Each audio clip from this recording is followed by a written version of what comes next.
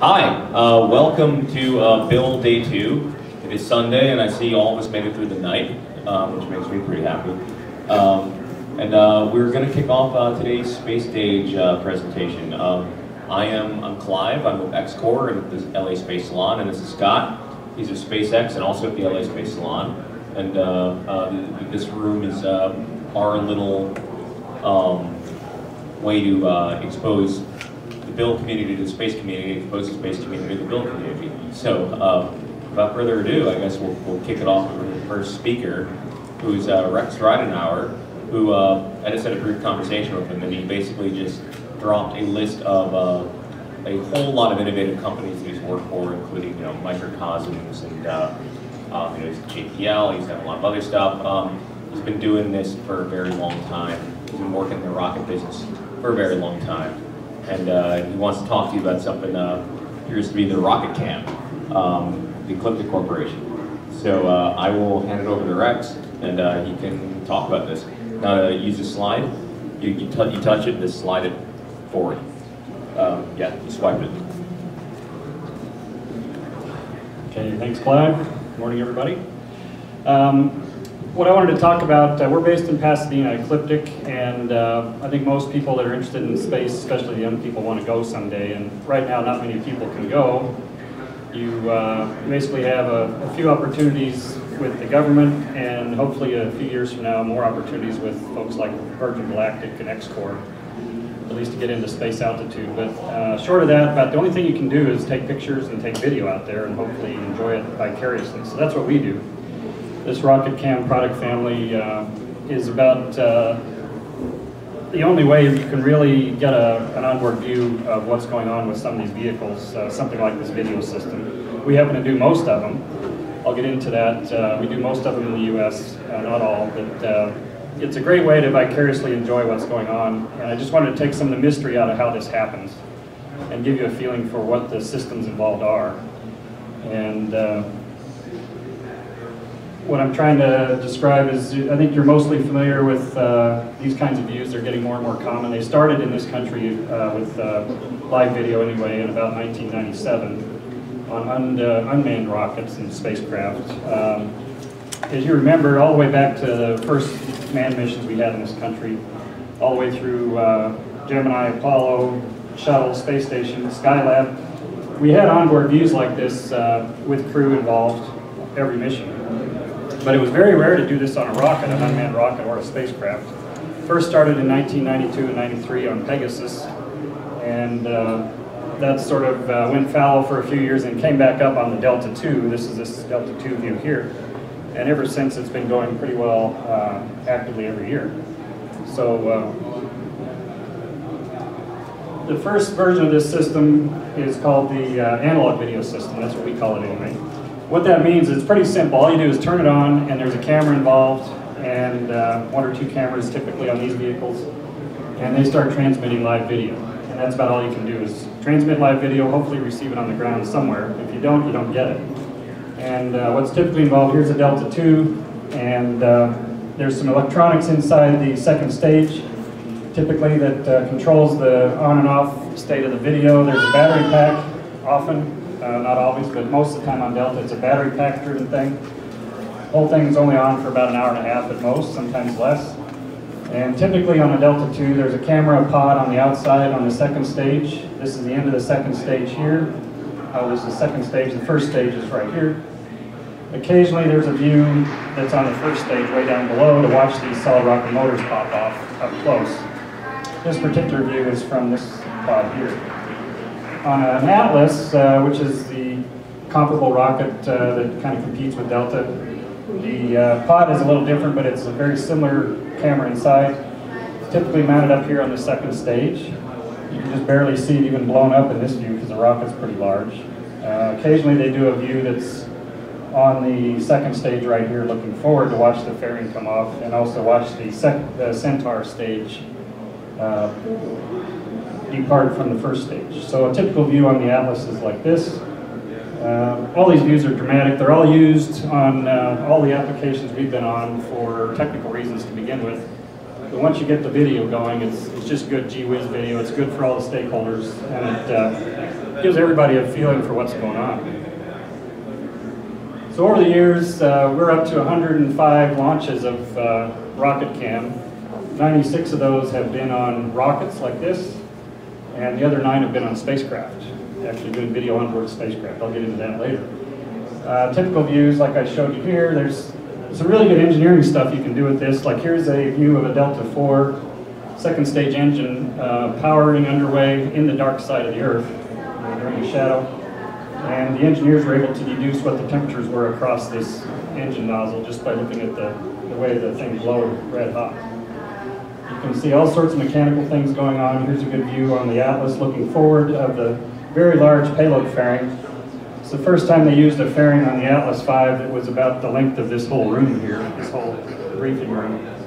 And uh, huge floppy structure, it came off in halves, and this is one of the halves flying off from the forward end of the Atlas. So over the years, uh, we've been on all of these rockets in the U.S., and uh, there's probably about six more I didn't have on this figure. Most of them related to missile defense target rockets that launch targets up to shoot down by other interceptors. But um, we have all these uh, all these rockets under our belt now, and uh, we've got a few strange vehicles too. You um, you're aware of the shuttle, the uh, foam falling uh, incidents on the shuttle, those were all caught by our cameras up on the external tank. We're, we're up, up near the nose of the external tank here. And this is the return to flight shuttle launch where they thought they had the foam problem solved and uh, lo and behold there was a huge piece of foam that came off. Fortunately it didn't hit the leading edge like they thought it did on Columbia. But uh, nonetheless this uh, incident caused the shuttle program to stand down for another whole year until they figured out why they didn't solve the foam problem. And uh, the important thing about this video, besides the fact they just saw it, is they got the time that the foam fell off, which was a really big clue on what was going on. Uh, there were something like 100 video cameras on the ground that got the ascent of the shuttle, a couple more on airplanes that were chasing along with the shuttle trying to catch anything that might happen. And none of those cameras saw this fall off, and none of them got the time either, even if they could have seen it. Um, so this clue uh, was very important in figuring out what was causing the foam to fall off in the first place, and eventually they solved that problem by and large. Uh, because one camera on the external tank doesn't get both leading edges of the shuttle, if you look at this other figure, this other picture, um, you're really only seeing the starboard wing of the shuttle here. You can't even see the port wing. So uh, after a few launches, NASA decided to put one on each solid rocket booster as well. So we're doing those, or did those until last summer getting a really nice view of the leading edges of both wings. So typically on a shuttle launch, we'd have three of these going and uh, get really good situational awareness about what's happening. So. And uh, we all know the shuttle program's done now, but uh, I like to think that the iconic image of some of the shuttle program is this sort of view now. We got some really spectacular stuff, especially at night. This is a night launch. And uh, some of these are very dramatic. This, this purple sheen on the normally black tiles of the orbiter is caused by the reflection of the blue Earth on the orbiter as it's leaving the, the external tank. Because in this view, the part of the Earth is already sunlit and the ocean's uh, reflecting off that surface. That's a cool shot. We're also very proud of the fact that uh, we did all the video on Spaceship One with RocketCam. These were very simple systems, all recorded except for one channel which was typically the, uh, this was typically broadcast live also. These were all recorded on board. The uh, recorders, you can see one right here, right behind the pilot, with a flip-up screen to show uh, the pilots when they turned them on just before they taxied the uh, whether the thing was pointing in the right direction and working.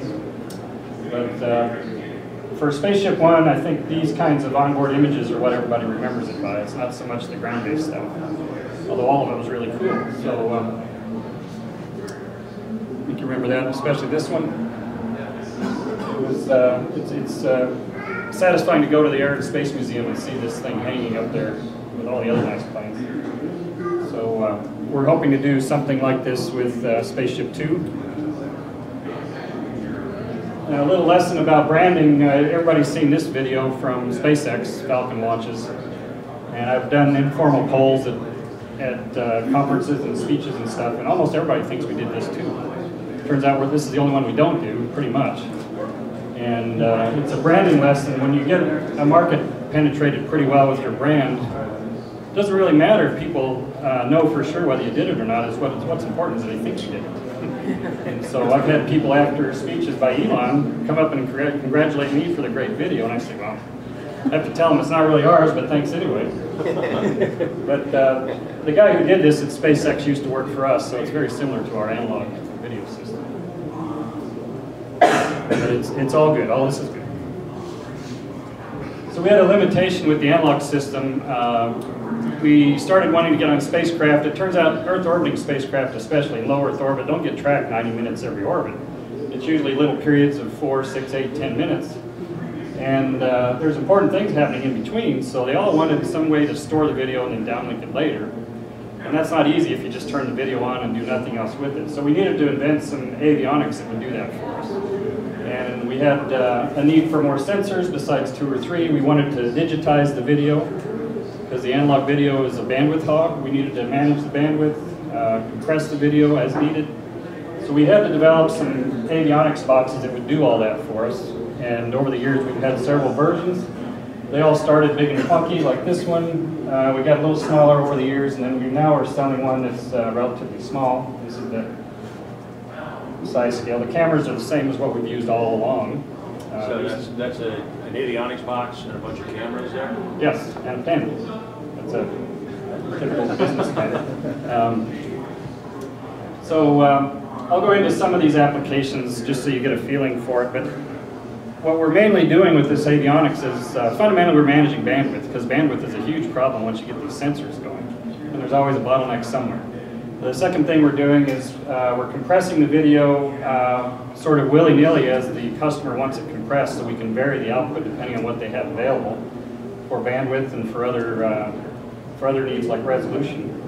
We also, uh, because we have such a good controller and scheduler in this uh, avionics box, we can do a lot of things like control other subsystem elements. We can control mechanisms. We can control data flow from other sensors that we don't even do, but they want us to control sensors. So I'll give you some examples of that. First thing I mentioned is compression. Uh, compression is huge for video because you can greatly decrease the total number of bits you're shoving through the pipeline, even though the human eye won't really tell a whole lot of difference. So this gives you a feeling from that same picture. Um, pretty much uncompressed, you can see a lot of detail there. Even as you go to fairly serious compression, here you're reducing the bit size, uh, total bit amount by seven. Uh, you're able to make that out pretty well, what it is. After you get really aggressive, it starts fuzzing up on you. But a lot of our customers will gladly accept this if they can just get more data. So we do that a lot.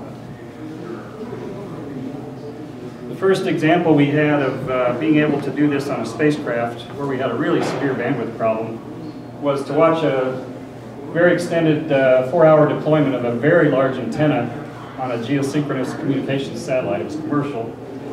It's for a company called ICO, and the uh, total deployment time was four hours. We only had 200 kilobits per second to work with, which is almost no more than a nice, um, a nice frame on your typical small camera you, you hold in your pocket.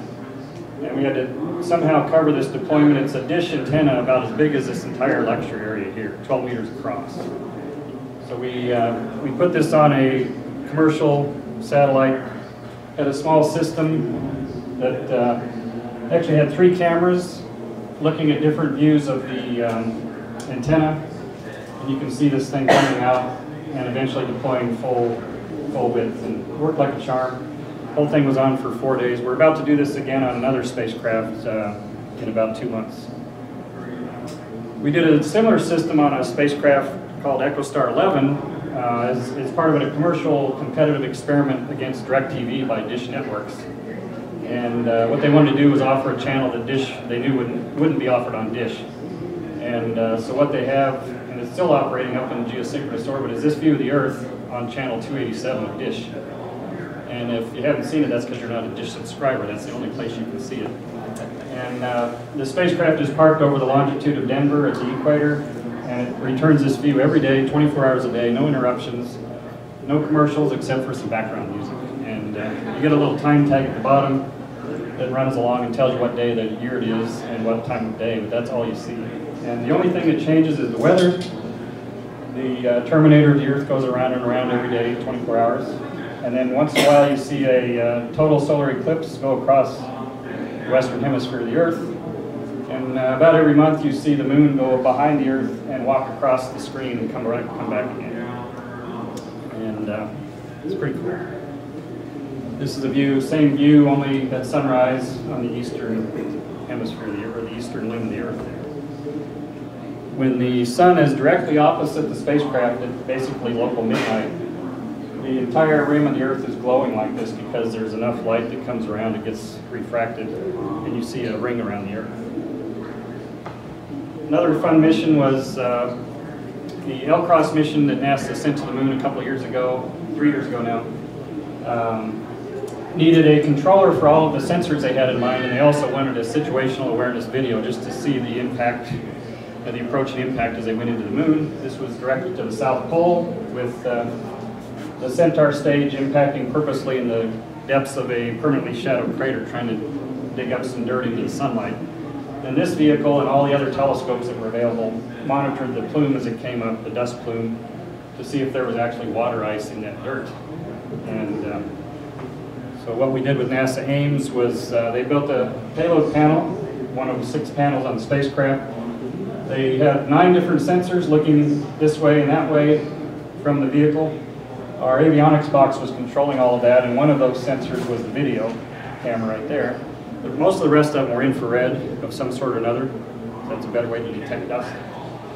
So in October of 2009, we were approaching the moon, heading for, I believe, I think it was somewhere right around here in this crater. I've kind of lost my bearings since then. But that's a, that's a snap right off the monitor of the, the visible video going in. And it was uh, really fun to watch as this thing got closer and closer. This is a comparable image as we are even closer of the infrared view. Of course, it's color, enhanced, so you can kind of tell what's cold and what's hot. But the cold crater uh, basin is right here, and they were heading basically where this guy's finger's pointing. And it turns out the impact was uh, successful. The dirt plume went up, and uh, all nine sensors, after they crunched on the data for quite a while, saw the impact and saw the, the remnants of what was left there. And the end result is, uh, between these observations and orbiting observations from other spacecraft, we now know that on the South Pole and the North Pole of the Moon, there's something like a trillion tons of water ice in the, in the buried soils there. And uh, that's a huge impact on future lunar exploration. The most recent mission we're on that's at the moon is the GRAIL spacecraft. They entered uh, lunar orbit in the end of last year, in the 1st of January. Two different spacecraft, they're talking to each other with very precise signals. On the spacecraft, uh, there's four camera systems, or a four camera system on each one that's going to be used for their education and public outreach program. And uh, these are the hardware sets, uh, one on each spacecraft. As the spacecraft go around the moon, they're basically pointing uh, with their face to the moon all the time. And uh, there's one camera looking forward about 45 degrees, one looking aft, and then two looking straight down. And one of the two looking straight down is more like a telescope lens. It's more like a very nice SLR kind of lens. And uh, these will start uh, full-blown operations using middle school students as the schedulers for the video and the processors of the video clips starting this, uh, I think it's next Thursday, March 8th. So uh, shortly after launch, we were, this was a pretty exciting mission for us and for everybody else on the project. So shortly after launch, the systems were turned on to get a sample image from each camera. And uh, we were happy to see the first image come back, which is that, which was looking into nowhere in deep space, and we saw absolutely nothing, which is what we were hoping to see because the cameras can't detect stars. There were no planets, no moons, so we knew it was working, but we didn't see anything. Once we got to the moon, they took a few more sample images. This is all from video now. It's not a still image, but it's a video frame from a 30 frame per second video. And you can see at least one of these cameras is working great. So we're looking forward to getting all sorts of interesting video clips uh, eventually on YouTube, I think is where they're going to put it. Uh, that avionics I showed, that's still too big and clunky for a lot of these spacecraft and rockets, and especially smaller spacecraft. So as I mentioned earlier, we've shrunk this avionics down now so that they're all about this size, and all we do is add more slices if we want more functions. This is sort of the minimum complement of slices. Uh, one controls the power coming in from the host platform and distributes all the voltages we need. The other one controls the command and telemetry to the host platform so we can talk with what we're based on. And then the third slice, this one is controlling eight cameras in this case. We have another slice that will control two high definition cameras or two high speed cameras uh, or a couple of infrared cameras. So you can mix and match these slices and come up with some clever solutions to things. This whole thing, uh, the avionics weighs a, uh, 700 grams. It's not very heavy, and each camera weighs 200 grams. So coming up this, uh, hopefully in April or so, uh, maybe even later, depending on how the launch pad improvements go, we're on the new uh, uh, Antares rocket for Orbital Sciences, brand new liquid rocket, first time they've ever done a liquid rocket, and it's going to be launching a cargo vehicle to space station, which will carry uh, not humans but cargo. And we're on that as well with a video system that will watch the approach as we go to space station. So we're looking forward to that. That's a, a nice kind of project to be on because we're on both of the vehicles, and it uh, helps our business. Here's the complement for the Antares rocket that we'll be using. There's a, uh, an external pod camera, just like we use on Delta 2 and Delta IV. Got a couple of internal cameras to look inside the payload fairing at the spacecraft as it's going up inside the fairing. Since you can't see anything inside a fairing if it's still on, because it's pitch dark, we have lights that will illuminate that whole scene, give you a view of what's up there. And then the um, basic avionics is the same as what I showed earlier, but uh, we also added a transmitter because uh, they wanted us to take care of transmitting our own, our own data. And we also added our battery pack because they didn't want to supply power. So that's kind of a typical solution. I mentioned uh, Virgin Galactic. Uh, we're supporting with a couple of systems right now the flight test program, and that's mostly to support the National Geographic production specials. They have a contract to do four specials on this effort with National Geographic. We're supporting the producer, providing a couple of high definition and, and standard video channels. There's, I think, on the total uh, for both vehicles, probably up to like 10 channels of video going all at once. And uh, they come from a, mis, a, a mixed uh, bag of sources, but we're getting the job done there. This is, uh, if you haven't seen it, one of the recent flight tests where they feather the, the uh, aircraft wings. Those are going well. Can't wait to see the full-blown uh, rocket-powered flights later this year. Other things to look for is the Orion capsule that's uh, being funded by NASA, being built by Lockheed Martin, is supposed to be going through a shakedown uh, flight test on a Delta IV rocket in 2014 to check the whole system end to end, and we're supposed to be on that launch and supply some situational awareness video of the entire operation. A lot of mechanical things happening, so they want to watch that closely. Likewise, for the Boeing uh, CST capsule, it's a commercial commercially developed capsule for uh, commercial crew to NASA, to uh, space station. We're expecting to be on the flight test program for that. We're also talking with uh, Sierra Nevada to do uh, some supporting video and data acquisition for their Dream Chaser drop test later this summer. We're going to be dropping it from uh, the Virgin Galactic White Knight 2 and dropping the thing down and landing it on a uh, runway, I think at Edwards, but I'm not sure about that. If, you, if none of you are interested in space stuff, we're also on some cool platforms uh, like this car. It's a supersonic car. Uh, called the North American Eagle. It used to be an F-104 uh, supersonic fighter jet, and now it's a car. And they're hoping to go for uh, a run next summer, uh, summer 2013, at 800 miles an hour or more. The current record is 763. So um, that's uh, that's going to be a fun ride if they get that. They're up to uh, test runs are up to 425 right now, and I've been to a couple of those. They're fabulous to watch. A little longer term, it's not clear when uh, Mr. Bigelow is going to get his larger modules up into orbit. Uh, there's two of them up there now that are subscale models, but we're hoping to uh, outfit some of the larger modules with video. They've uh, procured a lot of systems from us, but there's no firm plan to launch these modules yet because uh, before he can do that, he needs reliable commercial crew capability up and back, and that's still coming. So these might be 2015 or 16, but uh, not around the corner yet. Um, other missions we're going to be on, I won't show images of them, but we're on quite a few of the remaining Atlas launches. Uh, some Delta launches are left.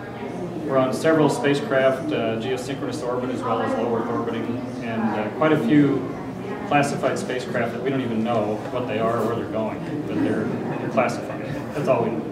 We've got about six of those lined up. And we're on quite a few missile defense target vehicles still. There's probably another dozen of those that we're on that basically launch out of Hawaii, launch a target up to space, and then it's intercepted by some of our missile defense interceptors and shot down. It's all testing. So uh, that's where we are. I'll cut it off there and take questions till I'm cut off by Scott. Yeah. Um, Care to uh, comment at all, if you can, about some of the regulatory challenges of putting high-quality optics in space? Yeah, it's interesting. When, when uh, EchoStar approached us about the uh, imaging system to look back at the Earth, much to our surprise, we found out we had to have a remote sensing license to do that. And it's from the, uh, the Department of uh, Commerce. And, uh, okay. And so uh, to, to have that system operating, we had to first apply for a license, and once we got the system designed, we had to explain to them what we're going to be looking at and with what sort of optics. We said, these are just little tiny cameras. They don't do any remote sensing per se. And They said, it doesn't matter, you're looking at the Earth. And it turns out even if you're going to land on the moon with a lander, you know, like a Google Lunar X Prize lander, and look back and take pictures of the Earth, you still need a remote sensing. So that's a little weird. Uh, besides that, um, the only other regulations we have to deal with with this are the frequency assignments. And that's pretty important too, because there's a lot of bandwidth coming down. So every single application has a specific frequency band you have to operate. But uh, other than that, the remote sensing license is all we had. We had to prove to them once we mounted it to the spacecraft that it was as we designed it, and we're looking at where we said we were going to look. We believe that's just so they know in case of a national emergency, they know where all the assets are that might be able to give a view of something that they need to look at. So, it's interesting. Mike? Uh, on your digital systems um, that appear to be integrated pretty tightly with the spacecraft hardware themselves, um, what kind of data bus protocols do these satellites use? Is just something standardized? Yeah, it's, uh, we use standard as much as, as much as possible. So we use RS-422, which is a very standard serial data bus. We are starting to work with uh, GigE, which is a very common camera bus that goes to our electronics. Uh, we have occasionally done other custom protocols when the spacecraft didn't want to change theirs. We can do that too, but RS-422 is what we prefer. And uh, one thing I should say about these digital systems is what we do is take almost all the complexity of adding video from the, uh, on the spacecraft or rocket. We take it, the complexity away from the host platform and put it on our side of the. So we don't confuse their computer, we just have them turn us on and we do things. So it simplifies their lives. One, one, one last question. One last question. Um, You said um, uh, earlier that you digitized the video um, uh, to save bandwidth. Yeah. Um, What kinds of rates did you get before and after? Uh, What kinds of bandwidth did you use? Oh, we, uh, there's two ways we can, well, we can digitize the video, uh, 30 frames a second coming in or whatever. We do that all the time. First way to reduce bandwidth is throw away, throw away frames, Right. because that's, that's too much video sometimes. So on this uh, Earth viewing image, for example, we only had 200 kilobits per second to work with, so we only kept one frame every 15 seconds of video, because nothing's moving down there very fast. So that's the first way. The second way is just compress the actual frame and crunch it down. We can reduce the bits by a factor of 10 easily. So whereas our box uh, could easily put out 100 megabits per second, uh, we're typically throttled back to like 1 or 2 megabits per second, or less. And that's for like eight cameras or? Well, it's typically one or two cameras flowing video at once and we switch between them. The most we can do at once is four right now, but we're still having to live within about a few megabits per second. Well, so,